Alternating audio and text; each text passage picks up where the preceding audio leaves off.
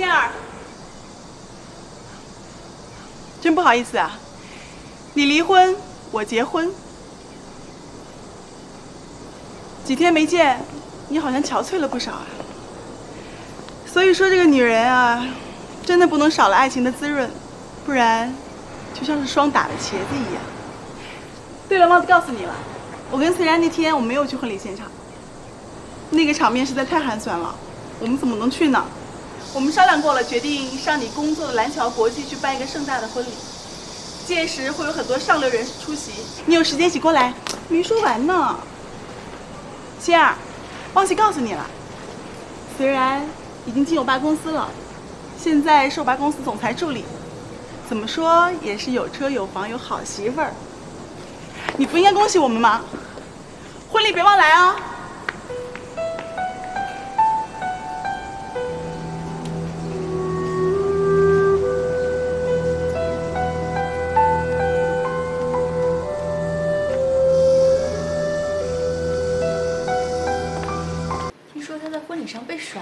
是真的吗？何止被甩，她老公是直接带着别的女人就跑了。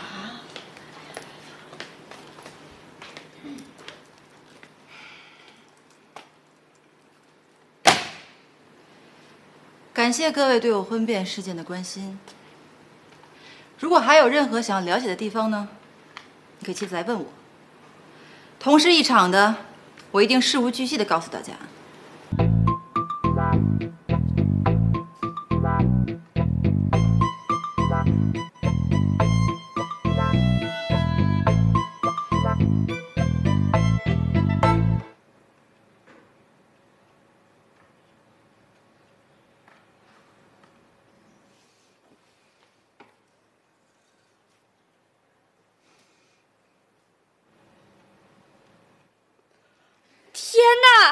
姐，你怎么不叫我呀？哦，哎呦，小夏，你能不能优雅一点啊？你这样都不优雅了。哎呀，什么优雅，我都迟到了。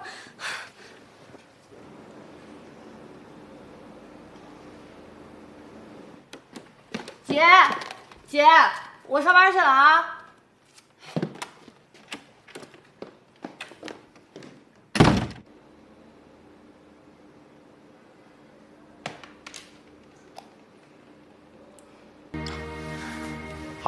那下面有请我们企划二组组长蒋姐姐。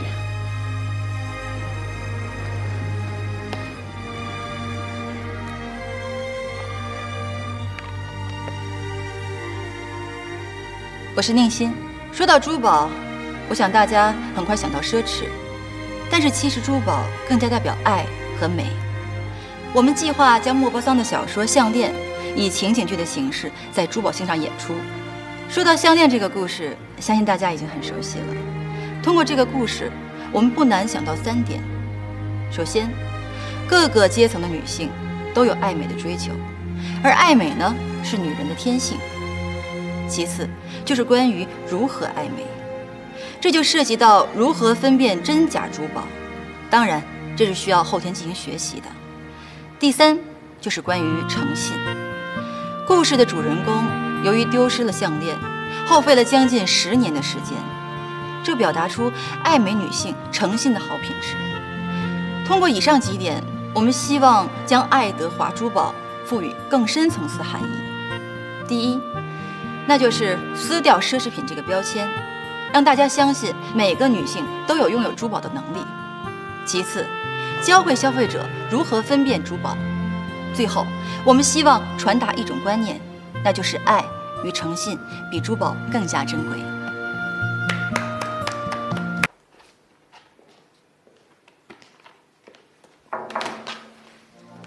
啊，冯先生，宁馨小姐，晚上如果有时间的话，一起吃饭。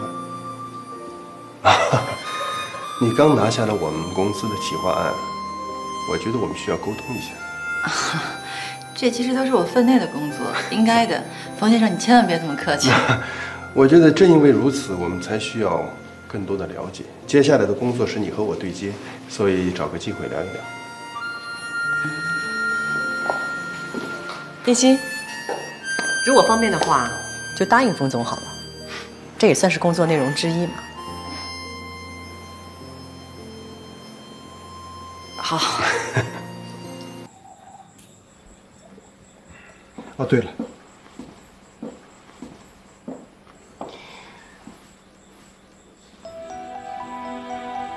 收下它。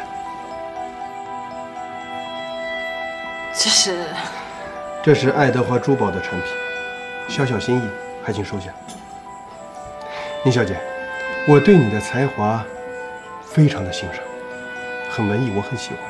我相信爱德华珠宝展在你手里会办得有声有色。祝我们合作愉快。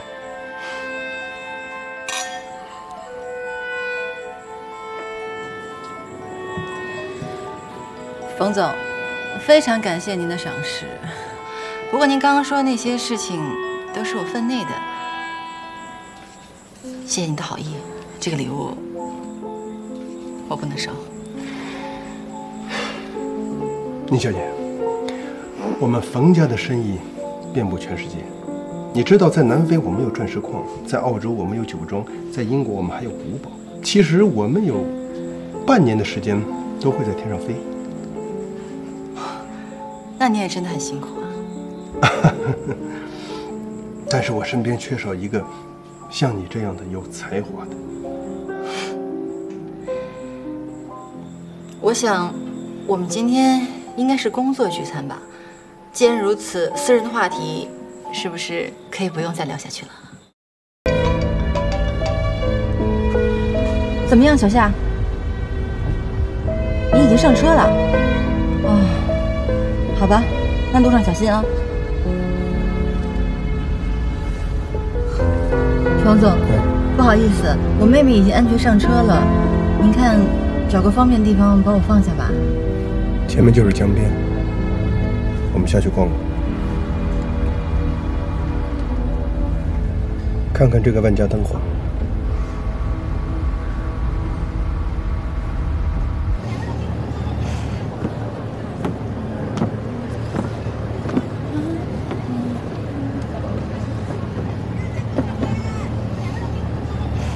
这个城市的业绩一点都不比香港差。嗯，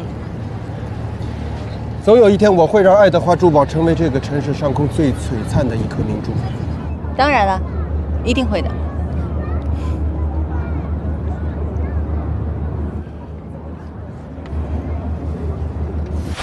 好美啊！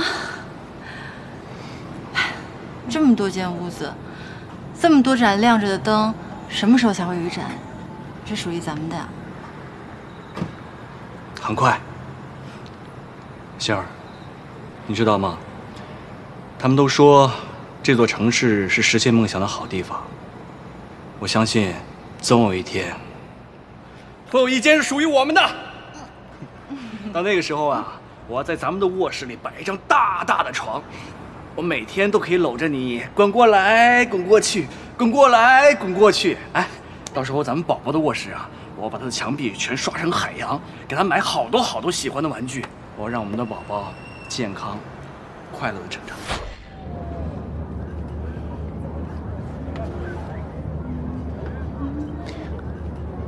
冷了吗？要不要我把外套给你？哦，我没事，谢谢你。时间不早了，我们回去吧。